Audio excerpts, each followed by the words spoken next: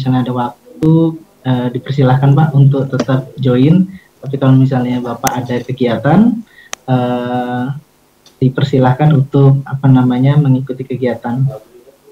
Terima kasih Pak Bagus. Ya, terima kasih Pak Satya. Kali saya on on nanti ya. Ya, uh, siap. Ya. Izin. Silakan dilanjut ya, Bapak Ibu. Terima kasih banyak. Baik, terima kasih Pak Bagus atas uh, kesempatannya. Izin Bu Mei, Mbak Ulan untuk saya menyampaikan materi terkait dengan kick off meeting penilaian kompetensi tahun 2022 untuk share screen.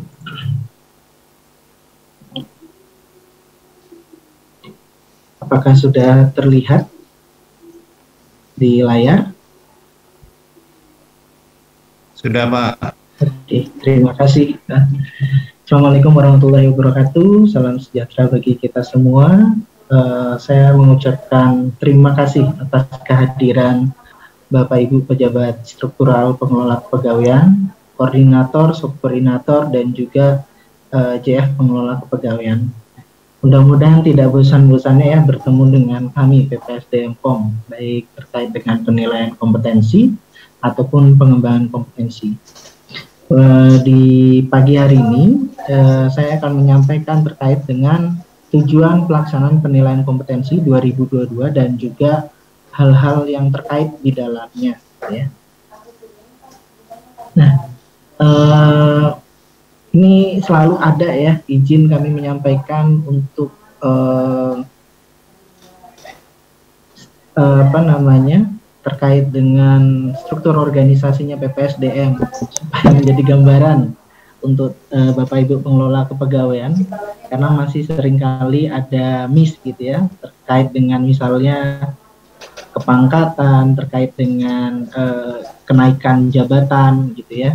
Nah untuk di PPSDM sendiri itu kita terdiri dari tiga kelompok fungsi besar, yaitu eh, kelompok penilaian dan sertifikasi kompetensi SDM, kemudian perencanaan dan penyelenggaraan diklat, dan juga eh, terkait dengan pengelolaan jabatan fungsional. Ya, jadi untuk di PPSDM POM ini, kalau untuk nanti uji kompetensi, penilaian kompetensi itu ada di Eh, koordinat di apa namanya di kelompok fungsi penilaian dan sertifikasi kompetensi SDM seperti yang baru-baru dilakukan yaitu uji kompetensi batch 4 gitu ya yang pengumumannya juga baru kita sampaikan beberapa waktu yang lalu nah itu nanti uh, untuk uji kompetensinya ada di kami di kelompok fungsi penilaian dan sertifikasi jadi kalau misalnya ada koordinasi ataupun terkait dengan apa namanya prosesnya itu nanti bisa koordinasi ke kami. Sedangkan untuk diklat, tubel, ibel gitu ya, itu nanti ada di perencanaan dan penyelenggaraan SDM, pengembangan SDM. Nah, sedangkan untuk eh, penilaian angka kredit untuk jabatan fungsional penyelia, PFM penyelia, dan juga PFM Madia itu nantinya uh, akan di PPSDM ya, yang arahnya sudah setahun belakangan ini sudah dikelola oleh uh, teman-teman di pembinaan PFM. Jadi nanti jangan sampai salah. Untuk di PPSDM hanya menilai angka kreditnya di fungsional media ya, PFM jenjang media dan juga penyelia seperti itu. Jadi biar tidak salah kirim dupak nantinya. Selanjutnya untuk outline kick off meeting kita pada pagi hari ini, yang pertama kita menyampaikan selalu dasar hukumnya, tujuan, strategi, metode, dan target penilaian kompetensi di tahun 2022, kemudian rencana pelaksanaan kegiatan, penilaian kompetensi, uji kompetensi di tahun 2022, serta tindak lanjut hasil penilaian kompetensi. Ya, jadi untuk tindak lanjut hasil penilaian kompetensi ini di tahun 2022 ini nanti kami akan melakukan satu kegiatan baru untuk mendampingi eh, pegawai dalam me, apa namanya mengkaji lebih lanjut atau mendapatkan feedback dari hasil penilaian kompetensi yang telah diikuti selama ini. Nah, untuk dasar hukumnya kita masih mengacu kepada Undang-Undang ASN gitu ya.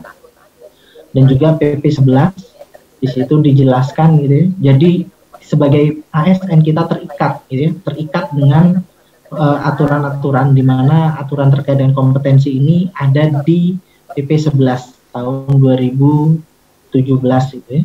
Situ juga disampaikan apa itu kompetensi teknis, kompetensi manajerial dan kompetensi sosial kultural seperti itu. Jadi eh, ini menjadi kewajiban kita mengikuti eh, pelaksanaan penilaian kompetensi. Jadi kalau misalnya ada yang beranggapan ini dinilai terus uh, tanpa ada tahu hasilnya uh, untuk dimulai dari tahun 2020 insya Allah hasilnya semua kita transparan terbuka dan bisa diakses di SCISN bahkan kalau misalnya ada yang merasa komplain gitu ya kami akan dampingi gitu ya. Dan kegiatan pendampingan itu uh, untuk feedback sudah kami mulai di tahun 2021 kemarin di pertengahan tahun. Nah, untuk dasar hukumnya yang terkait dengan standar yang kami gunakan itu kalau teknis kita masih mengacu di Perka BPOM. Kemudian untuk manajerial sosial kultural kita masih di mengacu di Permen Pan RB nomor 38 tahun 2017. Untuk Permen Pan RB nomor 38 tahun 2017 ini kalau bisa sudah mulai di-download ya. Sudah mulai di-download, sudah mulai dipelajari karena e, baru terasa setelah hasilnya dinilai gitu ya kayak misalnya e, nilai integritasnya, kemudian nilai kerjasamanya, kenapa kok uh, tidak sesuai dengan ekspektasi. Misalnya di level 3 ternyata nilainya satu gitu ya. Jadi uh, hal ini yang perlu dipelajari. Apa sih perilaku-perilaku apa saja yang di level 3 yang bisa mencerminkan uh, perilaku tersebut ketika saya diakses gitu ya. Nah, ini juga perlu dipelajari ya. Uh, karena evaluasi dari kami uh, Permenpan 38 ini jarang dibuka. Jadi rekan-rekan uh, itu ketika di tes ya udah tes saja blank gitu ya. Jadi kalau bisa dikenali itu perilaku perilaku di Permenpan 38 ya karena kami mengacunya di sana dan soal-soal yang kami susun pun mengacu di sana. Kemudian terkait dengan standarnya, standar rekomendasi yang kami gunakan itu mengacu di uh, PerKBKN nomor 26 tahun 2019. Di situ untuk standar minimum memenu, uh, masih memenuhi syarat kalau untuk UKOM itu 68%, sedangkan standar minimum bisa disebut dia cukup optimal itu ada di 78% kalau untuk penilaian kompetensi. Nah, data-data ini yang kemarin uh, menjadi data dukung indeks profesional ASN. Yang menariknya lagi, semua baru aware dan semua baru care peduli dengan data tersebut ketika indeks indeks profesional uh, dirinya itu uh, ternyata nilainya jauh gitu ya. Misalnya uh, yang seharusnya dia di standarnya di tiga nilainya cuma 6-8 persen. Nah itu kan di bawah minimum. Jadi ada yang komplain seperti itu, ada yang minta feedback ya. Ini akhirnya saya maknai secara positif, kita maknai secara positif ternyata ada loh manfaatnya penilaian kompetensi ini gitu ya seperti yang disampaikan oleh Pak Bagus tadi eh, tadi gitu ya dalam sambutannya untuk penilaian kompetensi baik itu manajerial, sosial kultural ataupun teknis itu sudah berkontribusi dalam pencapaian eh, sistem merit Badan POM gitu ya. Yang kemarin terbaru kita juga sudah diakses dan masih dipertahankan untuk nilai A kita gitu ya. Dan ini juga tahun kemarin sudah dibuktikan bahwa untuk pengisian jabatan pimpinan tinggi gitu ya untuk pengisian uh, kepala balai kita tidak perlu lagi menggunakan uh, seleksi terbuka ya kecuali untuk jabatan-jabatan khusus yang bagi pimpinan kandidatnya tidak ada yang dari internal sehingga harus dilakukan atau dijaring dari eksternal seperti itu. Jadi data ini, data penilaian kompetensi dari tahun 2019 sampai tahun 2021 sudah digunakan oleh Biro SDM. Baik untuk eh, apa namanya? untuk pengisian talent pool ataupun untuk pengembangan kompetensi yang dilakukan oleh eh, teman-teman PPSDM di sub kelompok pengembangan kompetensi ini yang pastinya nanti slide ini pasti akan Bapak Ibu temui nanti pada saat sosialisasi ataupun pada saat uh, kick off meeting ini ya. Kenapa selalu ada gitu. Karena ini hal yang paling mendasar supaya kita tidak salah persepsi dalam memaknai setiap hasil penilaian kompetensi, gitu ya. Jadi, uh, wah ada yang nyoret ini warna kuning. uh, jadi uh, untuk jenis penilaian itu ada tiga, yaitu penilaian potensi dari psikotes online, kemudian ada penilaian kompetensi atau kapabilitas, itu ada di assessment center ataupun penilaian kompetensi sosial kultural, manajerial dan teknis gitu ya. Jadi ini untuk kompetensi itu lebih kalau manajerial sosial kultural itu untuk soft skillnya, sedangkan untuk yang hard skillnya itu ada di teknis. Saat ini kita masih menilai kompetensi teknisnya masih ke PFM gitu ya, karena untuk yang non PFM atau jabatan fungsional lainnya sebenarnya kita masih menunggu gitu, menunggu standar dari kementerian ataupun instansi pembinanya. Jadi kita tidak bisa melakukan uh, apa namanya sendiri penilaiannya. Kita juga harus harus bisa berkoordinasi dan juga berkolaborasi dengan instansi pembina dari masing-masing JR. Nah, uh, dan yang terakhir ini evaluasi. Kenapa saya berikan garis ya bahwa antara kompetensi potensi itu tidak uh, berhubungan secara linier ya. Jadi ketika kompetensinya bagus otomatis kinerjanya bagus atau sebaliknya kinerjanya bagus berarti kompetensinya bagus. Tidak seperti itu ya. Tidak seperti itu. Dan itu sebenarnya sudah dijelaskan di Permenpan 3 tahun 2020 nanti Bapak Ibu bisa apa namanya bisa coba lihat di situ ya di Permen 3 ada nine box talents di situ juga ada kok kompetensinya tinggi tapi kinerjanya uh, kurang gitu ya Cuma kan kalau kita di PNS itu untuk menilai kinerjanya kurang itu kalau bisa dibilang jujur gitu ya, kita jarang sekali. Rata-rata nilai itu pasti di atas 80 atau minimal 80. Kecuali untuk nilai uh, ada pegawai yang punya kasus khusus nilai 76 pun itu uh, sangat jarang sekali kalau memang nggak kebangetan. Jadi memang untuk kinerja kita masih belum belum bisa se apa namanya se itu ya. Nah kalau untuk kompetensi kami sudah mengacu ya sesuai standar. Kalau memang yang bersangkutan uh, tidak memenuhi standar, ya kita akan nilai sesuai dengan capaian kompetensi berdasarkan respon-responnya dia pada saat tes. Jadi kami uh, kami menyampaikan apa adanya dan ini sudah apa namanya kami sudah di tahun 2020 2021 kita juga melihat ini, oh ternyata ada ada e, beberapa pegawai yang tidak lulus UPOM, dia merasa bahwa atasannya pun merasa oh kinerjanya bagus. Tapi ketika dites kompetensi kenapa kurang gitu ya? Kompetensi manajer sosial kultural sebenarnya bukan kurang gitu ya. E, levelnya dia pada saat unjuk unjuk kompetensi tersebut masih di level di bawah standar yang ditetapkan, terutama di media. Media itu untuk manajer sosial kultural kalau kita berkaca di sebentar ya nanti saya akan sampaikan untuk standar kompetensinya. Nah, akan loncat ke slide selanjutnya nanti kalau saya jelaskan nah, jadi eh, standarnya di level media itu harus setara setara dengan eselon 2 dan untuk tesnya pun bukan tes yang SJT lagi tapi harus tes yang assessment center dengan beberapa simulasi gitu ya nanti akan saya sampaikan di slide selanjutnya. Jadi itu, jadi uh, tidak ada kaitan hubungan uh, sebab akibat yang langsung gitu ya. Kalau kinerja, kalau kompetensinya bagus, kinerjanya bagus, atau kinerjanya bagus, kompetensinya bagus, itu harapannya. Tapi tidak selalu. Nah ini juga yang perlu pencermatan. Jadi informasi ini sangat penting bagi pejabat fungsional, bagi pejabat struktural gitu ya. Jadi nanti kalau mengevaluasi kinerja jangan menggunakan hasil kompetensi.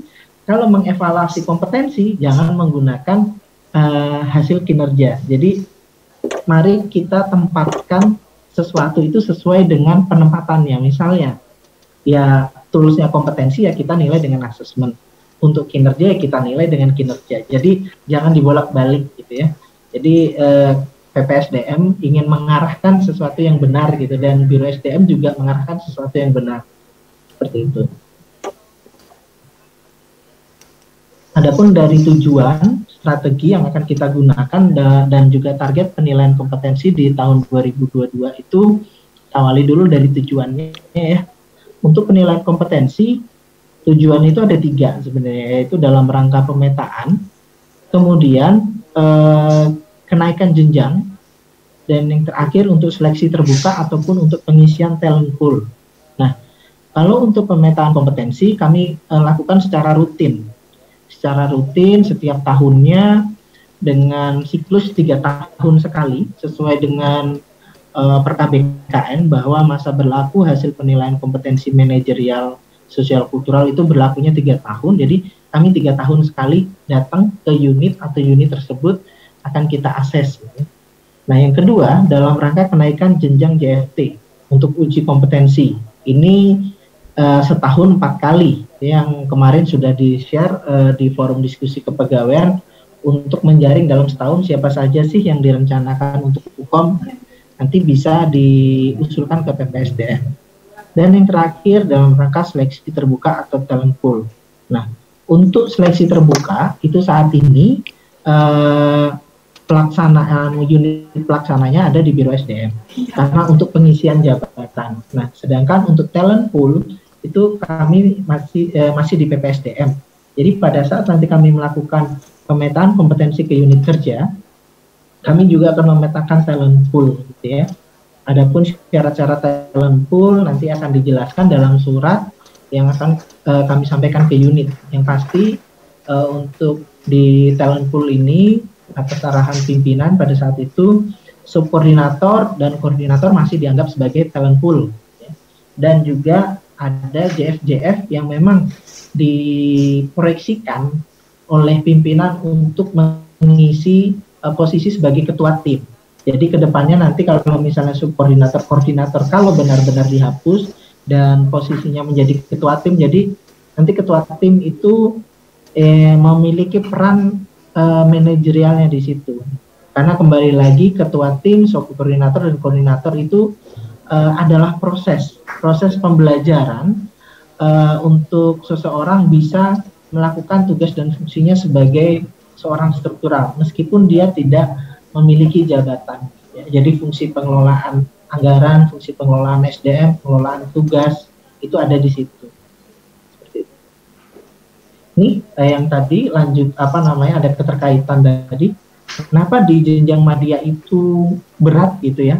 Karena di Permenpan 38-nya sendiri menyebutkan bahwa untuk manajerial dan sosial kultural, media itu setara dengan eselon 2. Jadi soal-soal yang kami berikan pada saat asesmen itu ya sama dengan soal-soal yang, yang diberikan pada saat seleksi terbuka gitu ya. Ditempatkan sebagai eselon 2 kepala balai. Jadi kalau yang saya nggak pernah terpapar ini. Nah. Justru itu ketika uh, seorang fungsional akan mengikuti uh, apa namanya akan mengikuti tes manajer sosial kultural. Dia harus belajar itu. Gimana sih uh, menjadi seorang struktural itu? Apa saja sih ruang lingkupnya yang dilakukan gitu ya? Instruksinya seperti apa saja sih? Nah karena standar kompetensinya yang di Permen 38 uh, dan juga kamus kompetensinya perilaku perilakunya mengarahkan uh, seperti perilaku perilaku struktural gitu ya. Apa saja yang dilakukan struktural? Nah kami pun pada saat mewawancarai adalah pengalaman. Pengalaman itu kan kita gali pengalaman berarti masa lalu ya.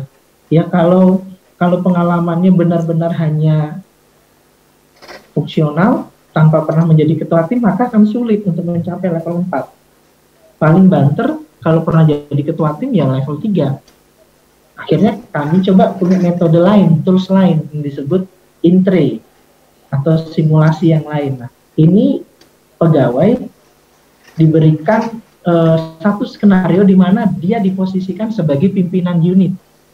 Jadi dia seolah-olah menjadi pimpinan unit. Bagaimana sih dia mendelegasikan tugas, memberikan arahan di situ. Itu kenapa kami buat seperti itu ya? Karena ini yang paling paling bisa menggambarkan nanti kalau dia di level 4 gitu ya. Karena kalau fungsional pasti sulit akan mencapai level 4. Gitu. Nah, ini yang perlu dicermati gitu ya. Jadi manajerial sosial kultural itu menjadi hal yang menjadi hal yang sulit karena karena uh, peserta itu kadang tidak membaca kamus kompetensi dan juga standarnya dia seharusnya di level berapa ya. Jadi kadang hanya ngikuti saja tapi tidak mempelajari. Nah ini yang kami harapkan di tahun 2022 uh, Bapak Ibu atau peserta penilaian kompetensi dalam rangka pemetaan atau dalam rangka UKOM sudah sudah terbuka gitu ya bahwa oh, Permen 38 harus saya baca-baca nih kira-kira nanti saya menulisnya seperti apa ya merespon jawabannya seperti apa ya ini untuk strategi penilaian nah untuk yang JF pertama muda non talent kemudian JF terampil gitu ya kami menggunakan tes situational judgment test ya. karena sifatnya masif jumlahnya banyak jadi kami menggunakan SJT yang dikembangkan oleh eh, apa namanya konsultan dan bekerja sama dengan uh, expert di universitas. Kemudian untuk eselon 4 atau subkoordinator atau calon calon talent pool juga koordinator ya sebenarnya di sini kita menggunakan uh, assessment center sedang plus wawancara kompetensi. Dan yang untuk JPT utama ataupun JF, JF Media kita menggunakan kompleks. Nah, kenapa kita menggunakan yang kompleks ya itu tadi karena levelnya level 4 dan di aturan pun di PKBKN sudah disampaikan kalau untuk fungsional media itu sudah menggunakan assessment center dengan uh, apa namanya level yang kompleks seperti itu. Untuk kompetensi manajer sosial kultural ini toolsnya ada situational judgment test yaitu berupa multiple choice.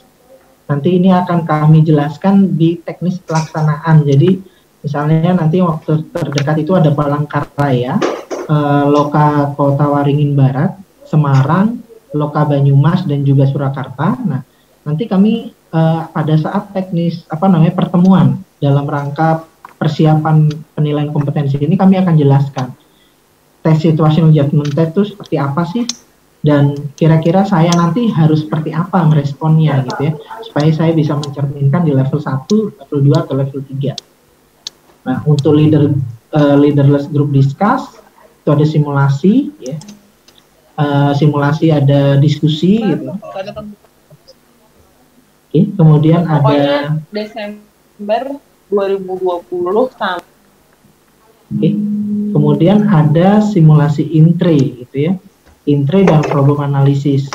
Kalau intre itu surat-surat disposisi, kemudian problem analisis tadi kasus dan yang ke terakhir ada kuesioner kompetensi yaitu ber, berbentuk kuesioner untuk menuliskan pengalaman. Jadi sebenarnya kuesioner kompetensi itu alat bantu.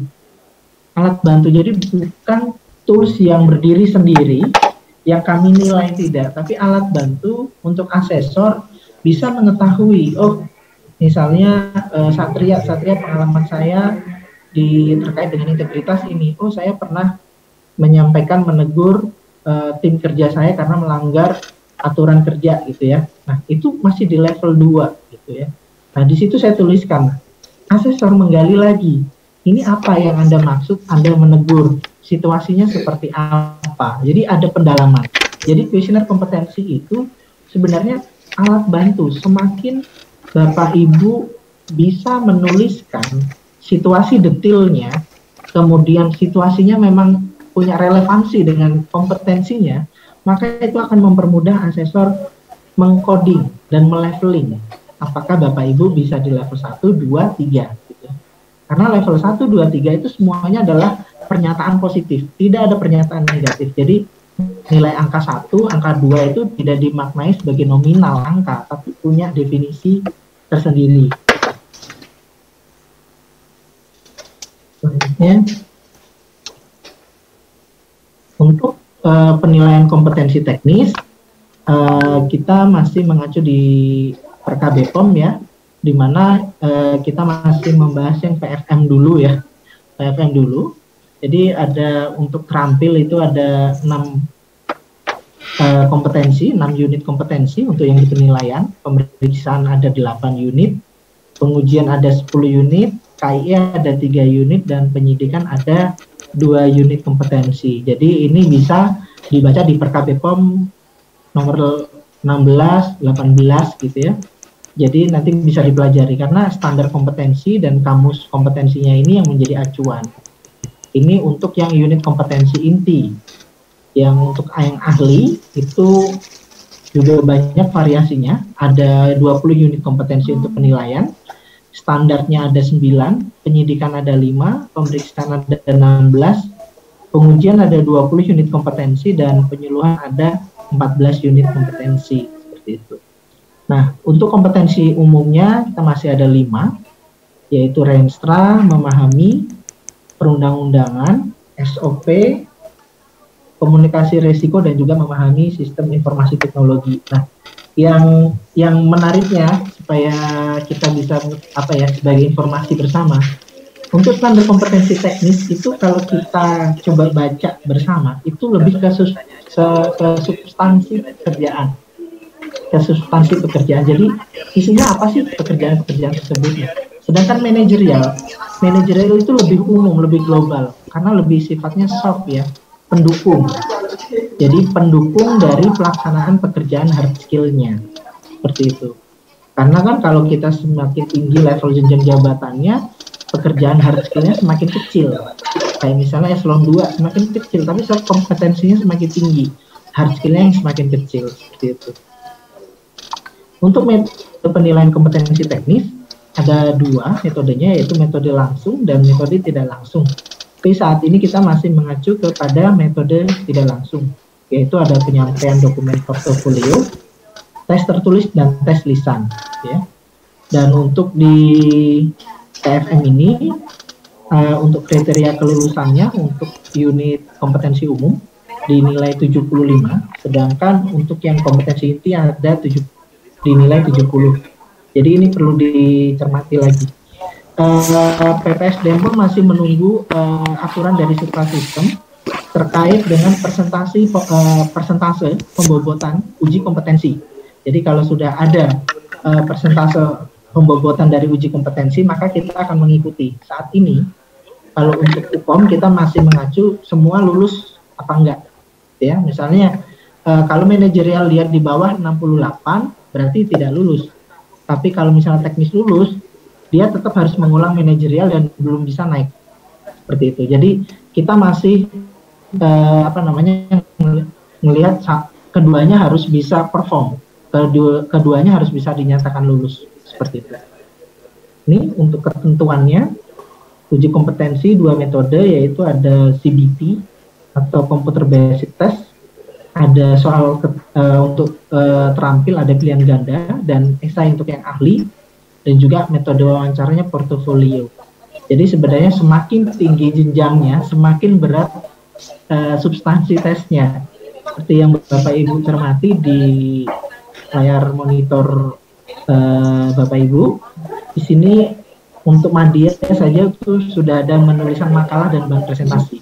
Ke depannya manajerial juga akan seperti itu. Kita melihat bahwa presentasi ini menjadi salah satu uh, metode yang bisa digunakan untuk men-challenge gagasan, men-challenge uh, kemampuan konseptual, helikopter view-nya eh, calon-calon media untuk menduduki jabatan. Karena uh, sekarang saya juga WA tadi dengan beberapa peserta UKOM gitu ya yang tidak lulus helikopternya Madia tuh harus tinggi. Bukan hanya karena dia fungsional eh, apa namanya bukan hanya karena dia PFM jadi ya kita teknisnya yang harus bagus enggak. Untuk eh, PFM Madia gitu atau jabatan fungsional Madia yang lain harapannya dia harus punya konseptual thinking yang tinggi, yang bagus. Dia punya helikopter view terhadap pekerjaan-pekerjaan hard skillnya jadi dia bisa arahnya nanti membuat kajian, menyusun draft kebijakan yang diusulkan ke pimpinan. Jadi harapannya ke sana. Dia tidak uh, tidak terkungkung pada pekerjaan-pekerjaan hard skill yang ibaratnya masih dikerjakan untuk level muda dan pertama gitu ya. Karena harapannya semakin tinggi, semakin expert dong. Jadi kalau fungsional itu semakin tinggi dia semakin expert. Dia menguasai gitu ya. Kalau di pengujian dia juga menguasai bukan hanya pengujian kimia tapi pengujian yang lain meskipun dia tidak pernah mencoba minimal ilmunya dia mengetahui. Karena media kan uh, harapannya dia menjadi fungsional uh, tertinggi di eh, apa namanya di fungsinya tersebut. Meskipun sebenarnya yang tertinggi ada utama ya tapi saat ini uh, utama masih sedikit masih satu saat ini yaitu Pak Hari yang lain belum ada dan utama itu hanya ada di pusat. Jadi nanti kalau karirnya sudah Bapak Ibu media sudah mentok gitu ya kalau mau naik utama silakan pindah ke pusat karena di UPT tidak ada uh, tidak ada utama. Baik, uh, untuk target penilaian kompetensi ini nanti bisa dicermati karena uh, nanti kami mohon bantuan uh, untuk Bapak Ibu pengelola kepegawaian uh, yang menjadi dasar apa namanya untuk peserta tersebut diikutkan untuk penilaian kompetensi. Uh, ada beberapa hal. Yang pertama adalah data kompetensinya terakhir di tahun 2019, ya. Kemudian uh, SDM yang belum memiliki data kompetensi dengan standar kompetensi Permenpan 38. Jadi kemarin yang masih ada yang 2012, ada yang 2018 gitu ya, atau yang 2016 nanti bisa diusulkan di pemetaan kompetensi ini. Kemudian SDM yang telah mengikuti tugas belajar. Jadi misalnya saya e, kembali sudah nih ke kantor dan saya sudah diaktifkan kembali uh, menjadi pejabat fungsional nanti itu bisa diusulkan untuk dinilai kompetensinya. Karena yang kemarin waktu kita nilai kompetensi uh, pegawai yang masih tugas belajar itu ada di level 1 jadi nanti ketika dia diangkat kembali menjadi misalnya asesor muda atau PP muda maka dia dinilai di level 3 sesuai dengan uh, jabatan yang didudukinya saat saat itu gitu ya. Nah itu di rentang periode 2019-2022 nanti silahkan Bapak Ibu bisa dicek oh siapa yang belum diakses nih? Yang tubel nih. Oh yang misalnya yang ditubel di tahun 2020 dia udah diakses di level 1 nah itu bisa diusulkan lagi untuk ikut di assessment di tahun 2022 ini. Selanjutnya PNS angkatan 2019-2020 untuk jenjang pertama atau yang belum pernah dilakukan pemetaan kompetensi sebelumnya. Ya. Jadi waktu dulu kami nilai di tahun 2019-2020 itu yang bersangkutan masih CPNS atau PNS yang belum diangkat menjadi uh, pejabat fungsional tertentu. Tapi kalau sudah diangkat, sudah ada update datanya, nanti diinfokan ke kami agar kami nilai kompetensinya di level sesuai dengan standarnya dia yaitu kalau pertama ya di level 2 karena kalau untuk CPNS kita nilai masih sama dengan fungsional umum yaitu di level 1 yang terakhir PNS yang telah mengikuti UKOM di tahun 2020 dan nilai kompetensinya di bawah 78 jadi pada saat UKOM di tahun 2020 nilai kompetensinya itu kan lulus tuh 68 ya untuk media dia lulus hasil UKOMnya 68 Nah, dia kan sudah menduduki media kurang lebih satu setengah tahun ini atau satu tahun berjalan. Harapannya selama satu tahun itu dia sudah memiliki kompet, uh, pengembangan kompetensi terbaru untuk jenjang di level 4 yang nanti nilainya dia di pemetaan minimal 78 gitu ya. Karena kalau sebelumnya kalau UKOM kan 68 lulus ya. Jadi nanti ketika kita mapping harapannya dia nilainya sudah di atas 78. Jadi ada kenaikan 10 poin minimal gitu ya bahwa memang dia best fit atau memang saat ini uh, sudah cocok untuk menduduki jabatan fungsional media seperti itu. Nah, yang terakhir rencana pelaksanaan ini uh, ada Bepom Palangkaraya untuk triwulan 1, untuk triwulan 2-nya juga ada Bandung, triwulan 3 uh, kita sudah tidak apa namanya untuk balai jadi misalnya ada balai-balai yang uh, pegawainya pada saat kita petakan yang bersangkutan mungkin ada penugasan, ada cuti, nanti kita akan akses di triwulan 3. Jadi yang untuk carry over carry over di TW1, TW2 kita akan akses di TW3. Seperti itu. Dan juga untuk yang pusat, kalau pusat kita bagi 4 batch, setiap batch di satu TW ada batch 1, batch 2, batch 3, batch 4, kan batch 4 Nah, ini metodenya dari dan luring nanti untuk wawancara kompetensinya kalau memang tidak ada PPKM level 3 lagi kami akan terjun langsung uh, untuk wawancara kompetensi manajerial dan juga wawancara kompetensi teknisnya unit-unit terkait. Tapi kalau misalnya PPKM level 3 ya akhirnya kita menggunakan Zoom.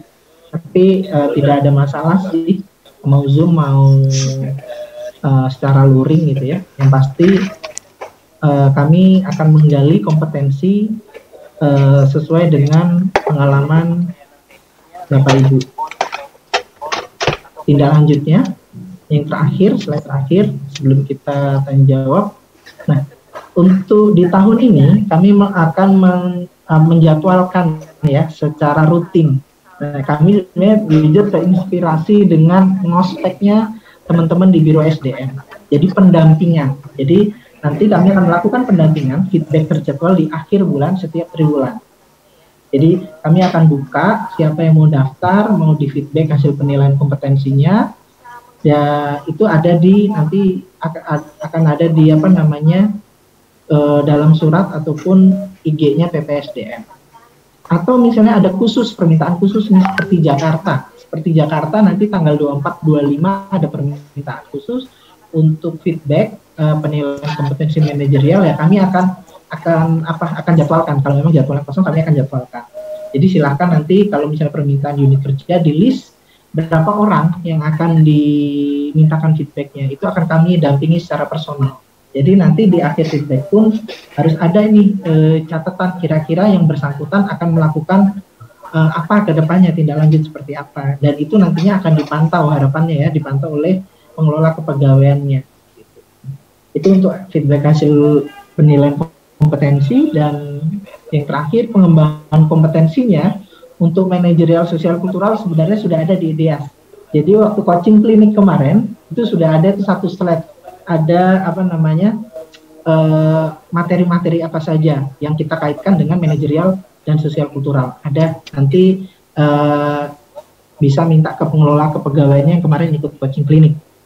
Kemudian pengembangan kompetensi ada pelatihan BIMTEK dan yang terakhir adalah penugasan dan kombinasi coaching mentoring seperti itu. Oke, demikian uh, penyampaian materi di kick off meeting. Uh, saya harapkan nanti kita bisa diskusi kira-kira apa saja sih yang apa namanya yang harus dipersiapkan untuk pelaksanaan penilaian kompetensi ke depannya. Terima kasih. Saya kembalikan lagi ke host Wassalamualaikum warahmatullahi wabarakatuh. Waalaikumsalam warahmatullahi wabarakatuh. Terima kasih Pak Satria atas materi yang disampaikan.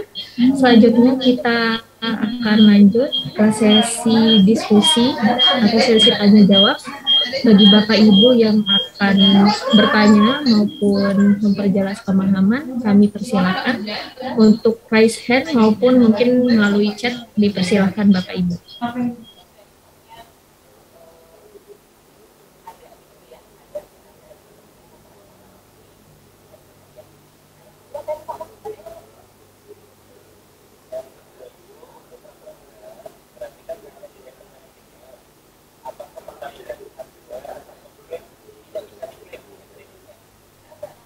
Oke, bisa. Oke, mungkin dari Bapak Tri dari Inspektorat bisa on mic. Silakan Bapak. Ya, uh, terima kasih.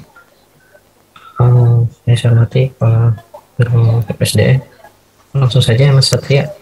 Uh, ini Mas, uh, pengalaman yang tahun lalu, uh, misalnya uh, memang kan sudah di, misalnya ada pemanggilan gitu. Tetapi kan kadang-kadang kan dengan penugasannya maksud saya bisa nggak di, di apa ya diberikan waktu lebih awal gitu. Kayak jadi teman-teman bisa lebih me, mengatur jadwalnya gitu. Karena uh, ya dengan siklus pekerjaan uh, bagaimanapun teman-teman juga perlu menurut saya ini penting nih kompetensi ini. Maksudnya pemetaan kompetensi ini penting karena uh, ini kan juga digunakan untuk uh, data ya. Uh, itu saja sih mas ini pusat ya mas ya untuk pusat ya iya karena umum ya iya kemarin pengalaman kemarin kan akhirnya kan pada nggak ikut gitu Iya, siap. Dan uh, mak maksud saya gini, kalau dia tengah ikut tahun ini, apakah nanti mempengaruhi ke siklus penilaian selanjutnya gitu kan? Seharusnya kan buat yang saya tahu kan kompeten ini kan saya buat tahun ya. Nah, setahun, Pak. Oh, setiap, setiap setahun? Tiga tahun. Oh, tiap tiga tahun sekarang lah ya. Oke, uh. oke. Okay. Baik, uh, izin menjawab Mbak Reno. Jadi untuk teman-teman pusat memang uh, perlakuannya berbeda ya. Kalau unit teknis, kalau UPT kan langsung gitu ya. Nah untuk teman-teman pusat, terima kasih masukannya. Nanti kami akan database dulu yang apa namanya, yang tahun 2019 yang harus segera diupdate. Karena kasusnya di setiap unit kerja pasti beda-beda itu ya.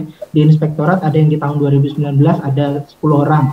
2020 misalnya ada 15 orang. Nanti kami akan coba catatkan sehingga nanti eh, silahkan nanti pegawai tersebut bisa mendaftar di batch 1, 2, 3, atau 4 gitu ya. Uh, sifatnya kembali lagi uh, kami tidak menunjuk gitu ya, kami tidak menunjuk, kami hanya menyampaikan nanti 2019 untuk unit pusat siapa saja silahkan pilih di batch 1, 2, 3, 4 tapi tidak boleh kalau bisa kalau bisa harus apa namanya punya komitmen di batch tersebut gitu ya.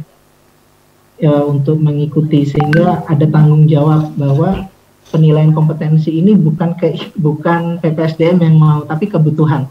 Jadi kebutuhan individu untuk berkembang di situ. Karena uh, kita biar sama-sama ya kalau keterikatan kan kalau saling membutuhkan akan lebih kuat dibandingkan kalau kami saja yang menjadwalkan gitu ya. Nanti akan kami share datanya dan akan kami sampaikan khusus untuk unit-unit pusat siapa saja. Selanjutnya Mbak Reno monggo. Ada Ya. Mas Agung. Uh, untuk pertanyaan kedua dari Pak Abu dari BPOM di Manado. Silakan ya. Ya, terima kasih. Uh, izin yang saya hormati Bapak Kepala BPSDM selaku PLT bersama. Langsung saja mungkin uh, saya konfirmasi saja uh, Pak Satria.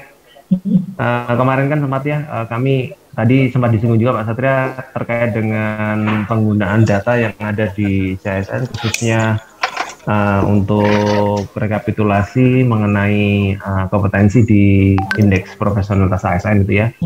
Nah, kita kan mencermati di situ uh, mungkin ada beberapa rekan kita kemudian ada ya hampir hampir hampir hampir banyak ya yang masih baru ngeh gitu, baru sadar. Ada yang namanya JPM gitu ya, job person match dan uh, ada yang namanya penilaian kompetensi ya Pak ya, Pak Satria ya.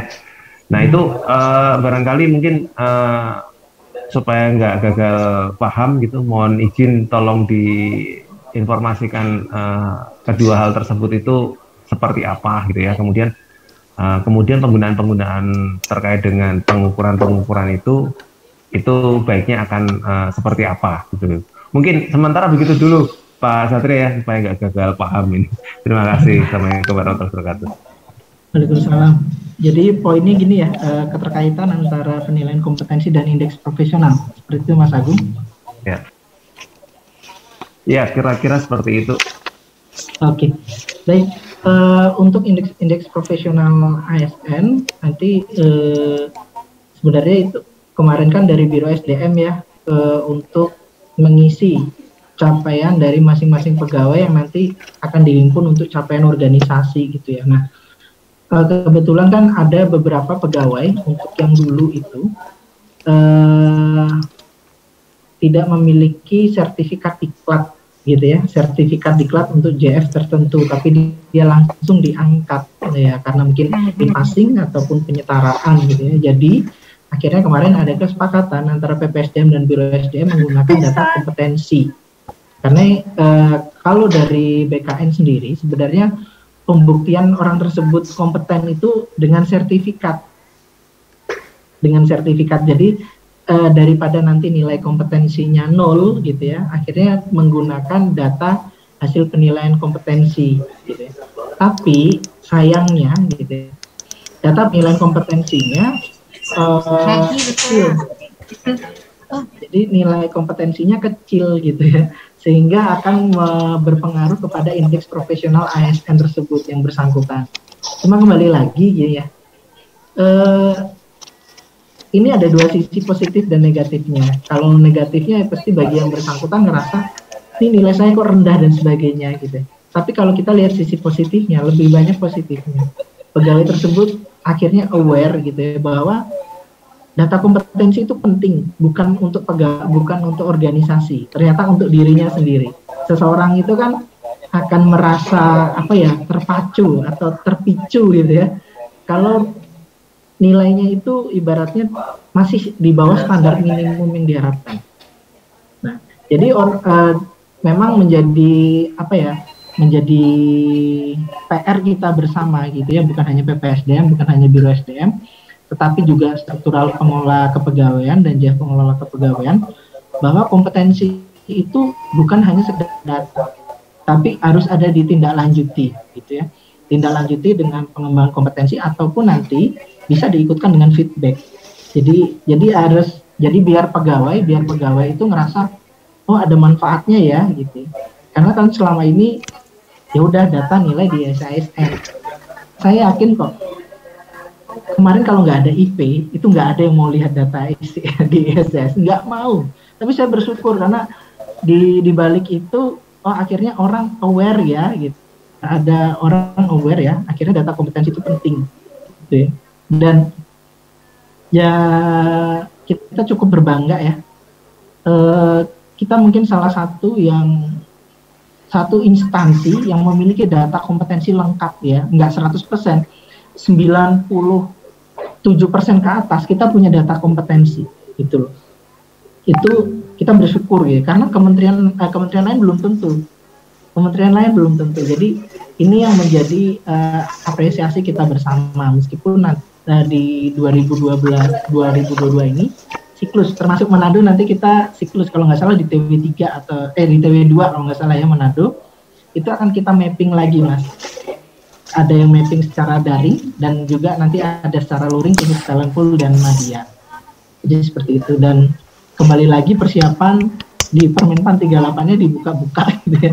Karena menjadi penting ya, harapannya ke depan hmm, kita ini krisis kepemimpinan eh, krisis kader ya bukan krisis kepemimpinan krisis kader nanti yang muda-muda ini cepat jadi kaloka jadi apa nanti cepat pergerakannya sehingga Biro SDM pun butuh data Aku jadi PM memungkinkan nah, tugas kami PPSDM dibantu oleh Bapak Ibu sekalian ya untuk menyiapkan data itu yang update dan juga bisa digunakan. Seperti itu Pak Agung, mudah-mudahan bisa menjawab ya Pak Agung ya. Ya, makasih Pak Satria. Ya.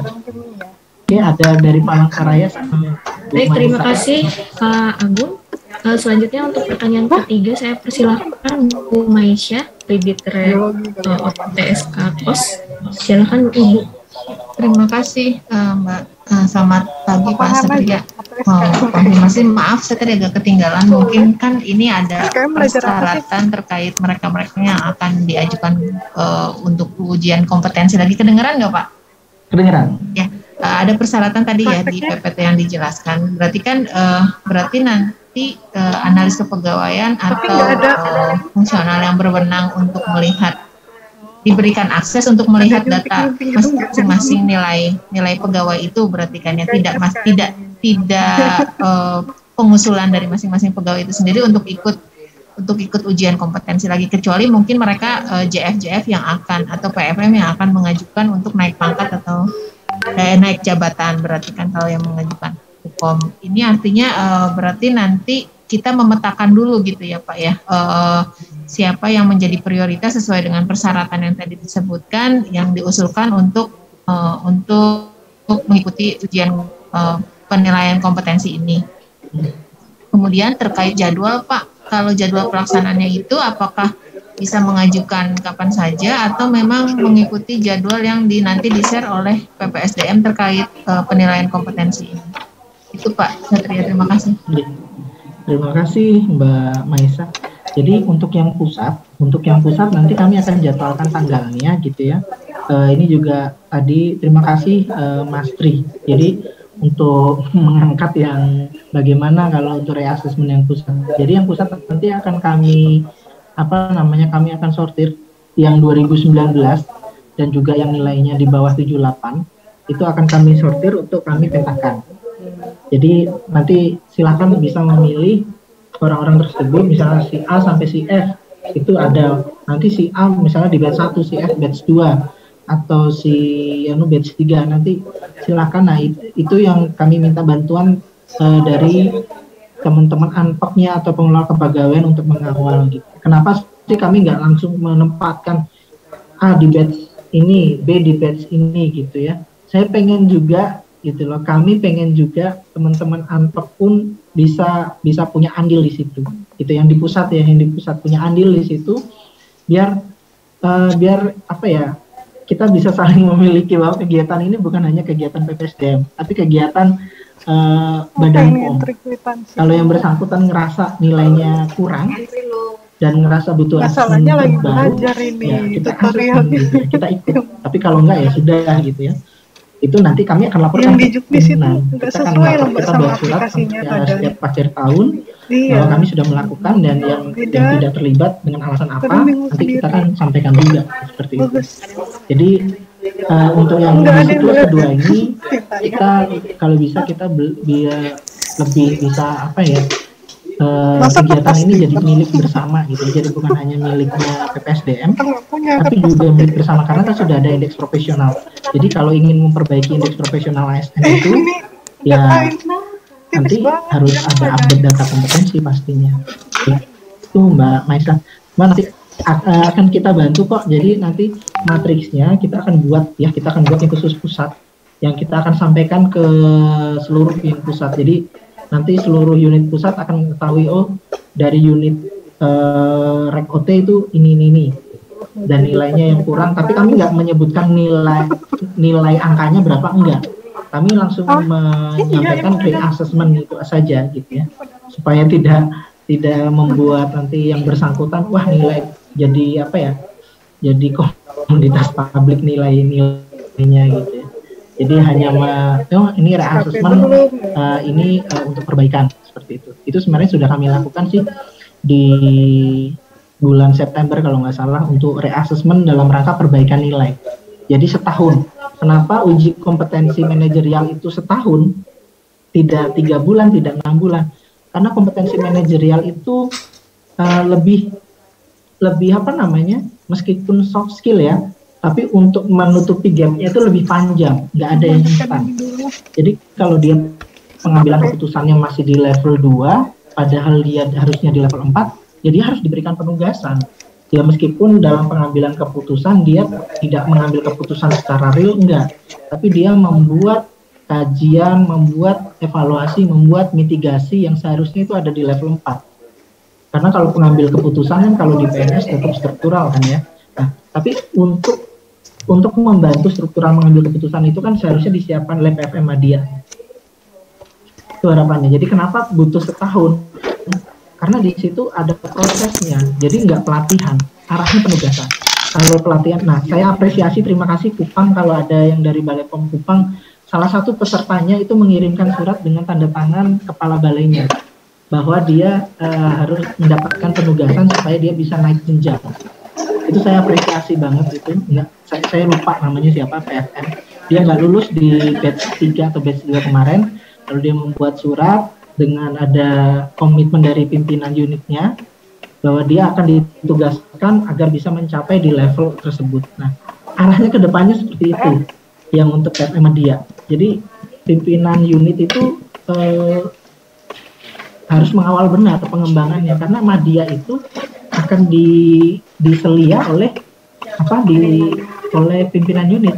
Apalagi nanti semua banyak kan media sekarang full sekarang banyak besar. Ya pimpinan unit kerja. Jadi bukan struktural struktural di bawahnya lagi bukan kabak PU bukan ini. Pimpinan unit kerja. Jadi arahnya ke sana sih kita. Dari mana? Gitu Mbak Maisa mudah-mudahan bisa cukup membantu jawaban dari saya oke Terima kasih Pak Satria.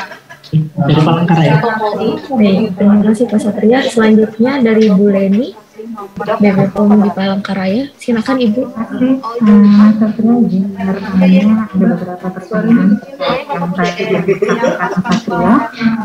Eh, yang pertama tadi terkait untuk eh, beberapa pegawai yang tidak mengikuti di batch bersangkutan atau di waktu yang bersangkutan juga di eh, triwulan 3 ya Mas Satria ya. Untuk teknis eh, pelaksanaannya memang seperti biasa? Eh, dari kepegawaian membuat BA atau hanya melaporkan kemudian eh, atau sudah otomatis yang mengikuti akan terrecord bahwa pegawai yang tidak mengikuti di situ siapa? Panggilan di triwulan 3 mungkin itu yang pertama Yang kedua terkait uh, tadi sepintas saya membaca terkait uh, surat untuk kompetensi. uh, itu ada beberapa pegawai yang memang tidak mengikuti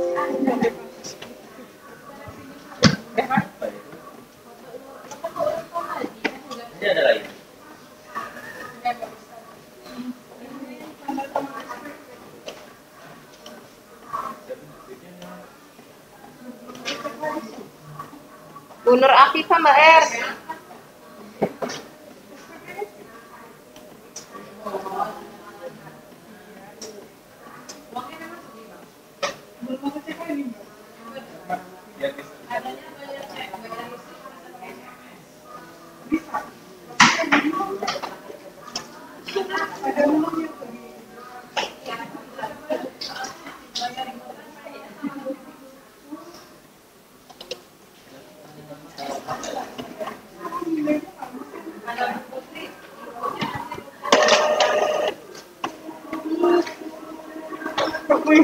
belum selesai aku belajarnya. Akuntansinya belum tahu.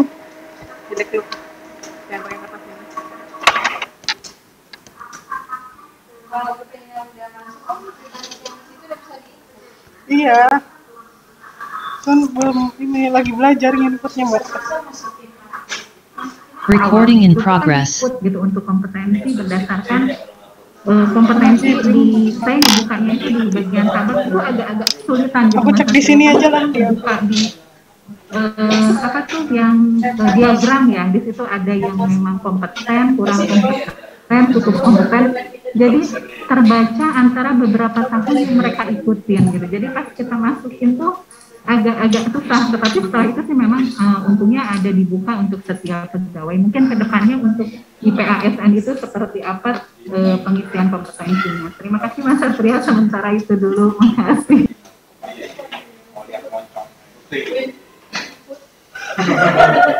Oke, ini terlalu pertanyaannya ada empat ya. Saya saya izin ngetes dulu ngetes ngetes laptopnya.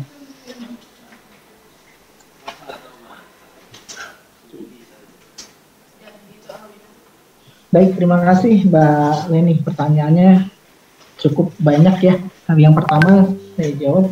Nah, terkait dengan pegawai yang sudah mengikuti pemetaan kompetensi dan nilainya mas eh, dalam kategori cukup optimal ya di minimal 78 atau di atas 78 eh, tidak perlu mengikuti reassessment kecuali dia nilainya di tahun 2019 kalau di tahun 2020 dengan catatan tadi dia punya posisi baru misalnya posisi baru itu terkait dengan misalnya eh, saya sebelumnya waktu diuji itu PFM pertama. Nah, tahun 2021 saya diangkat jadi PFM muda. Nah, itu itu berarti nanti perlu kita petakan dengan jabatan yang baru.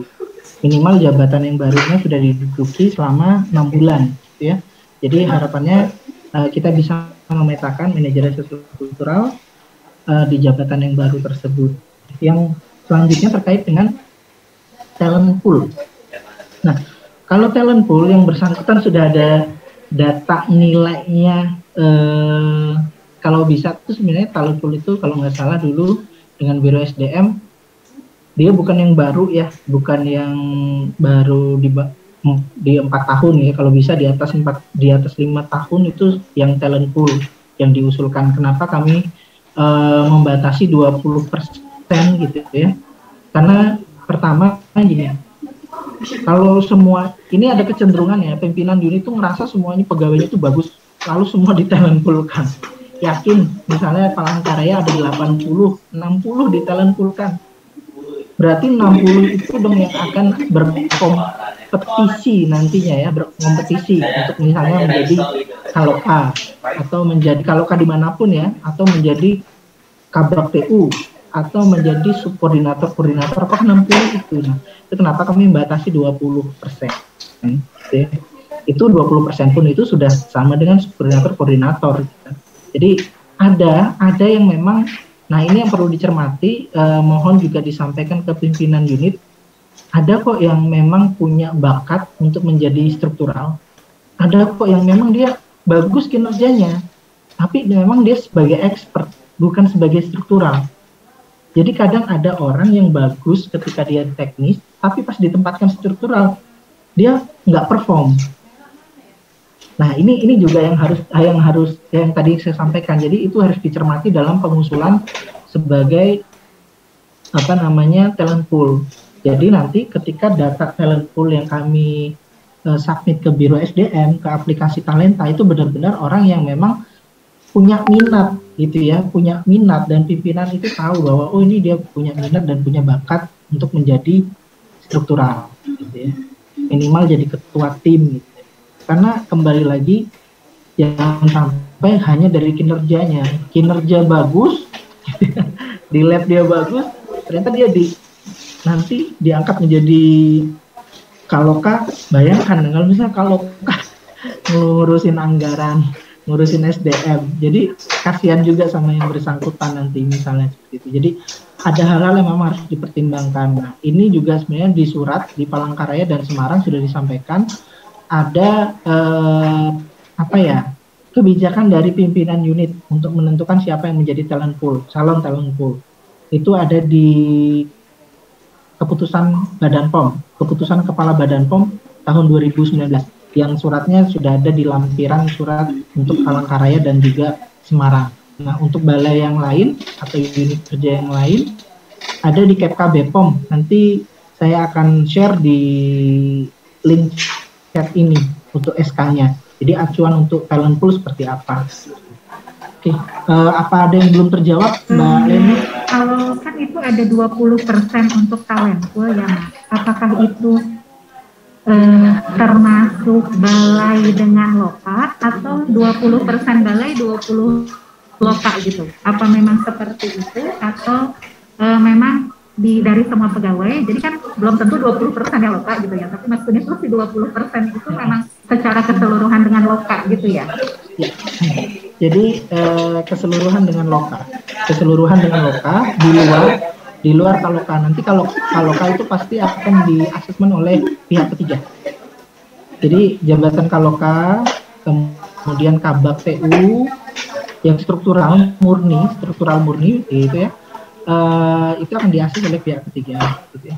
Nanti untuk kayak gini, kalau 20% loka, loka itu misalnya ada 12, 20 persennya itu masih kadang masih baru-baru ya angkatan 2020 nanti dimasukkan seperti itu jadi kadang sama sama biro SDM pun itu oh tidak memenuhi syarat minimal minimal menduduki jabatan gitu ya misalnya oh baru tiga tahun sudah gugur duluan cuma kembali lagi eh, teman-teman loka itu uh, untuk kompetensi manajerialnya kenapa lebih cepat berkembangnya dibandingkan teman-teman di pusat ataupun teman-teman di balai?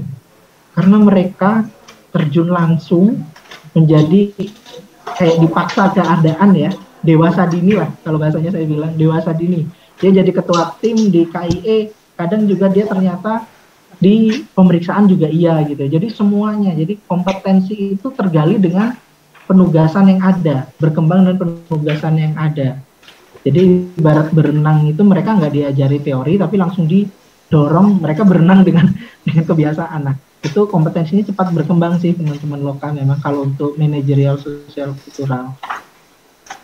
Begitu Mbak Leni, mudah-mudahan sudah cukup menjawab dan jadi informasi bagi balai yang lain. Satria mungkin untuk nanti ada yang saya kurang mungkin bisa chat ke Satria. Satria terima kasih. Eh sama untuk feedback ya. Sama untuk feedback uh, pemetaan kami juga akan memberikan feedback kok. Jadi kalau yang nanti permintaan unit kerja kayak eh, Jakarta itu minta bersurat gitu ya. Kalau kami akan sparekan waktu gitu ya. Entah itu daring ataupun luring Kemudian ada feedback di TW 3, eh maaf, maaf di setiap akhir TW. Jadi seperti coaching klinik nanti uh, eh, PPSDM gitu ya akan lihat uh, akan membuka pendaftaran. Jadi kami asesor-asesor itu akan siapa nih yang mendaftar oh ada 20 orang dari berbagai unit kerja ya. Kita akan terjunkan itu beberapa asesor untuk mendampingi. gitu ya. Jadi hasil penilaian kompetensi pun ini kami rasa pegawai berhak tahu, pegawai berhak uh, kira-kira ke depannya itu seperti apa. Itu butuh pendampingan dan uh, asesor yang akan melakukan pendampingan tersebut. Nanti kami waktu pemetaan kepala karya juga kalau memang ada waktu kami akan sampaikan juga feedback baik secara klasikal ataupun individual. Cuma kembali lagi kalau individual dilihat dulu nanti jadwalnya apakah memungkinkan. Kalau bisa memungkinkan individual, kami akan terbuka untuk individual. Seperti itu. Ya, terima kasih.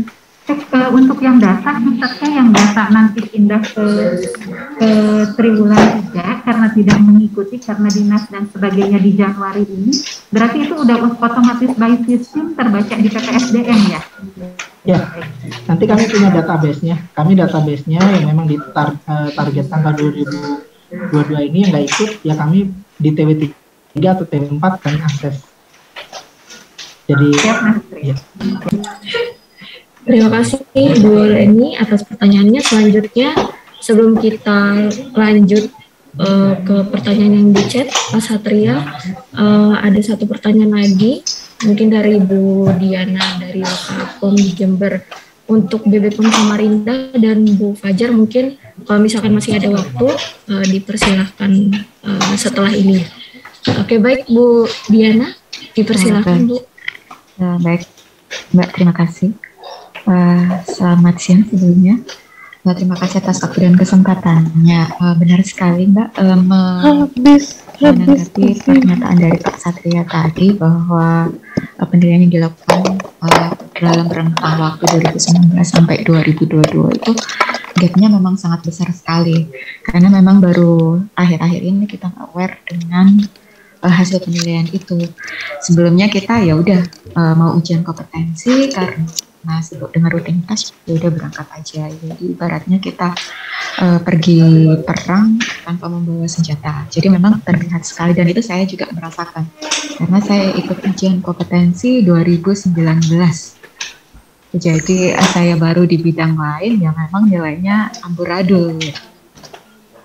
Dan itu ya uh, baiknya kalau sekarang ada feedback ya Pak kalau dulu uh, kita nggak tahu dan nggak itu nilainya sebenarnya untuk apa. Kita pikir ya udah kamu seperti itu kita nggak follow up. Tapi alhamdulillah untuk uh, ke depannya ini sudah sudah ada uh, fasilitas untuk feedbacknya ya Pak. Terima kasih saya apresiasi kembali uh, saya apresiasi dari BPSDM untuk hal tersebut. Uh, untuk pertanyaannya Pak ini mungkin lebih bersifat teknis ya untuk penilaian pemetaan kompetensi nantinya yang akan dilaksanakan karena saya ikut tahun 2019 berarti saya juga akan mengikuti insya Allah tahun ini. Nah untuk penilaian ini kita sudah diberi kisi oleh Pak Satria tadi. Cuman kan ini nantinya pas waktu kegiatan penilaian pasti akan ada faktor luck dan psikologis ya Pak. Misal ini nanti ya kita bicara yang terburuk nilainya tidak memenuhi syarat. Nah, nanti kira-kira apa yang harus dilakukan oleh yang bersangkutan Pak untuk ke depannya? Apakah ada semacam remedial atau coaching atau seperti apa? Uh, mungkin itu saja Pak Matrio. Terima kasih. Assalamualaikum warahmatullahi wabarakatuh. Waalaikumsalam warahmatullahi wabarakatuh. Silakan Pak Satria. Terima kasih Ibu Diana atas apresiasinya dan juga sebenarnya ini kami kami adalah uh, menindaklanjuti sih kami mengevaluasi banyak uh, keluhan ataupun tanggapan dari pegawai gitu ya. jadi uh, apa namanya hasil kayak kita nih dites terus tapi kita nggak pernah tahu kita dites terus tapi nanti hasilnya buat apa ya. itu itu yang yang apa ya yang menyentil kami ya menyentil kami untuk kita melakukan perbaikan continuous improvement itu tiap tiap tahun kami harapkan selalu ada dan kami butuh masukan dari bapak ibu gitu ya nah eh, harapannya memang ke depan gitu ya kebutuhan asesmen kompetensi ini menjadi kebutuhan yang memang salah satu kebutuhan yang penting bagi pegawai gitu. jadi pegawai itu sebenarnya punya hak kok untuk pertama dinilai kompetensinya dikembangkan kompetensinya gitu ya itu punya hak dan itu sudah diatur di undang-undang ASN secara jelas itu secara uh, eksplisit malahan ya bukan implisit jadi udah sudah jelas tertuang di situ. Jadi itu kami hanya menyampaikan data dan monggo data itu dimanfaatkan. Nah manfaatnya seperti apa? Dimanfaatkannya seperti apa? Butuh feedback dari kami, kami akan dampingi, gitu ya. Kemudian nanti tindak lanjutnya seperti apa? Oh tindak lanjutnya nanti bisa membuat IDP (Individual Development Plan). Jadi ada kesepakatan gitu, jadi ada janji diri gitu ya, ada fakta integritas dari masing-masing pegawai. Oke, nanti saya akan melaksanakan ini dan itu minta ke pimpinan Bu, Pak, gitu ya. Berdasarkan individual uh, hasil data uh, hasil penilaian kompetensi, gap saya di sini. Itu atas saran dari hasil penilaian tersebut uh, untuk penugasan saya seperti ini dikasih penugasan ataupun untuk coaching ataupun mentoring, ah coaching mentoring terkait dengan penugasan. Kalau untuk pelatihan tuh arahnya seperti ini. Untuk saya sendiri, saya seharusnya seperti ini. Jadi mohon bantuan atau kebijakan Bapak Ibu untuk uh, apa namanya misalnya menyetujui individual development yang coba saya susun arahnya ke sana gitu ya. Nah kalau jadi kembali lagi bahwa pengembangan kompetensi itu tidak melulu soal pelatihan. Tadi yang saya sampaikan di awal untuk uji kompetensi untuk supaya saya bisa lulus di tahun depan kira-kira saya harus pelatihan apa? Enggak enggak ada. Kalau kalau untuk pelatihan pelatihan itu enggak ada yang instan langsung orangnya kompeten nggak ada. Nggak ada kompetensi. Jadi seharusnya penugasan. Seperti yang saya sampaikan kenapa manajer sosial kultural itu butuh waktu satu tahun? Uh, karena harapannya dalam satu tahun itu ada kompetensi-kompetensi yang dia bisa dipenuhi. Karena kan kita punya sembilan kompetensi itu.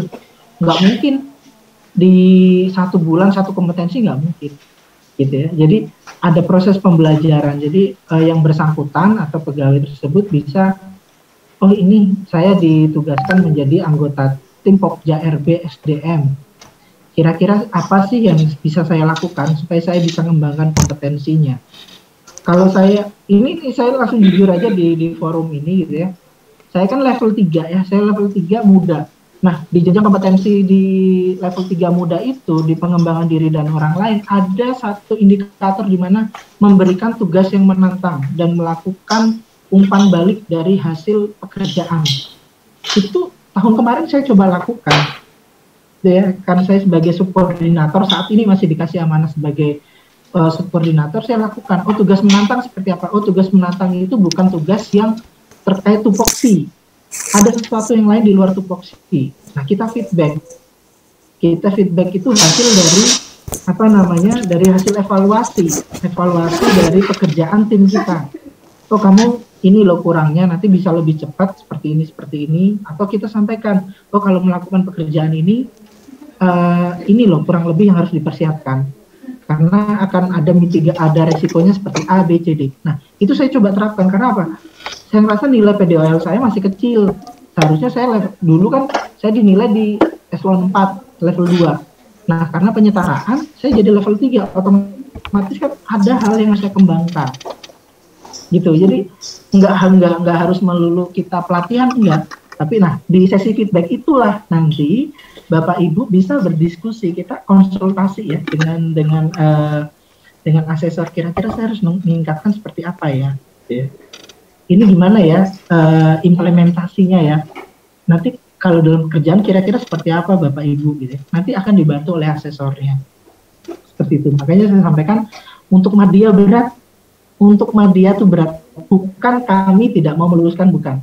Tapi memang levelnya di level 4. Gitu ya. Level 4 itu setara dengan eselon 2. Jadi memang tools yang kami gunakan masih menggunakan tools yang setara eselon 2 gitu. Jadi memang berat. Jadi Bapak Ibu yang nanti punya rencana untuk naik menjadi fungsional media, silahkan mulai dari sekarang dipersiapkan pemenuhan indikator kompetensi di level media seperti apa di situ. Minimal kalau dia nggak bisa ngambil keputusan dengan mengambil resiko, dia membuat kajian atau dia harus berubah gitu ya, berubah perilakunya. Oh ya, yang selama ini saya lebih kesannya uh, bisnis as usual, bekerja sesuai dengan penugasan saja.